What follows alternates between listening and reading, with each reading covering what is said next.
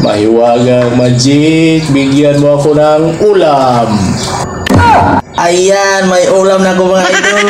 Kaso nga lang bulad pan binigay mga idol. Tuyo. Oh.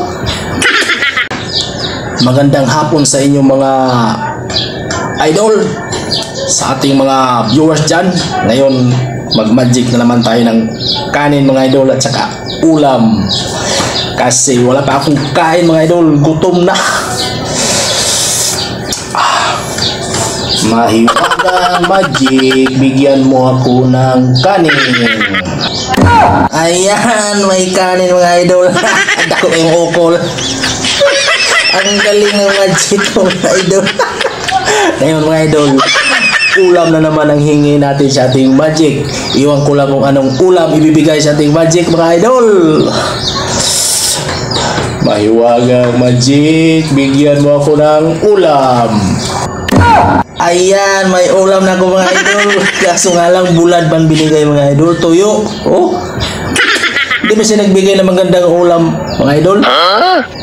Bulad man binigay.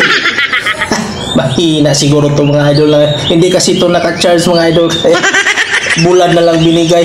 Wala tayong magawa mga idol. Kain na lang tayo, gutom na eh. Galing na lang magic ko mga idol. Kaso nga lang, bulad binigyan niya ngayon kasi hindi kasi naka-charge luwat.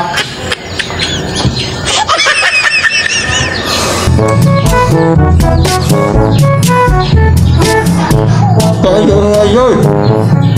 Bulad tuyo.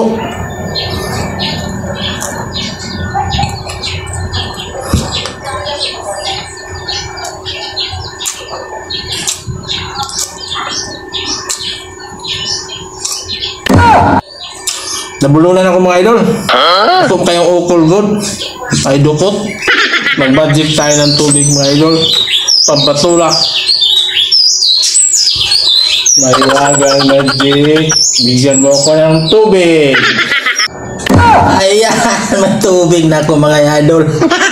may baso pa. malamig pa mga idol, malamig. Inom na tayo mga idol. Nabulunan ako.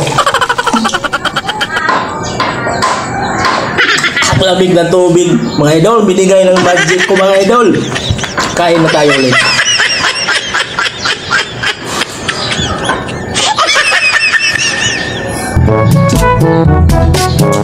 Kahit tuyo ang ulam natin mga idol, bulad, masarap pa rin.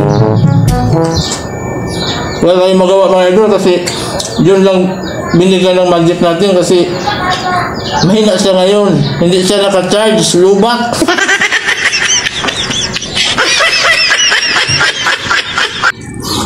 maraming salamat mga idol.